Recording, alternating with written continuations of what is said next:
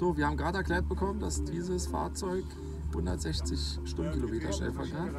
Und Tenara traut sich dazu. Und ich werde richtig ausrasten. Baby. Richtig. Zum Glück haben wir einen Überrollkäfig. Gleich geht's los.